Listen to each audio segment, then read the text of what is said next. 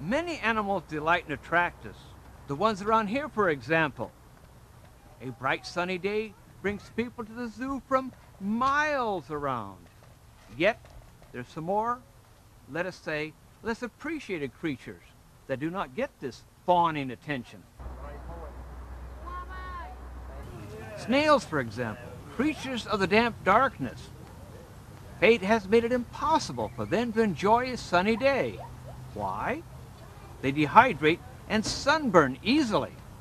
Well, I'm here to change all that. If our snails could only enjoy a place like this, think how big and healthy they'd become. If only they could come out in the daytime. I've tried the most obvious solution, but snails had an adverse reaction to sunblock lotion. I was stumped, but I knew there had to be a solution. Then it hit me. A simple cocktail umbrella proved to be just what the doctor ordered.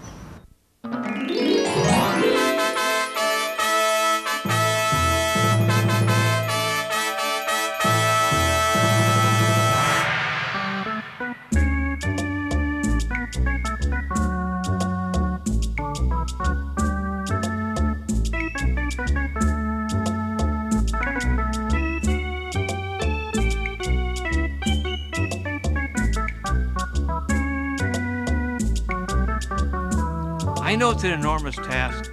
Think of all the snails in the world. Still, when I see sights like this, snails fully enjoying themselves in the bright sun, it's enough to bring tears to my eyes.